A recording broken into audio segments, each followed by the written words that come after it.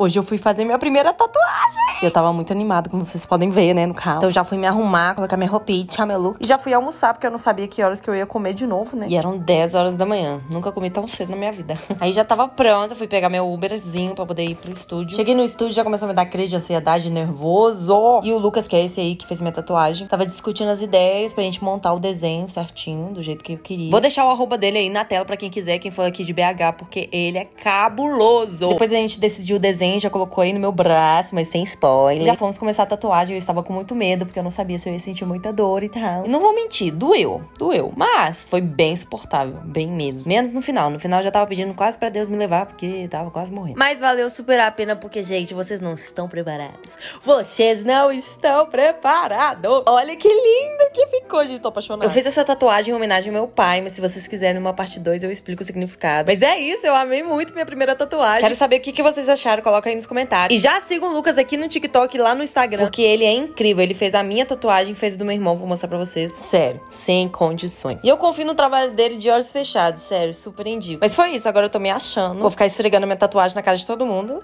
Mas foi isso, gente. Espero que vocês tenham gostado de ver eu fazendo minha primeira tatuagem. É isso, um beijo!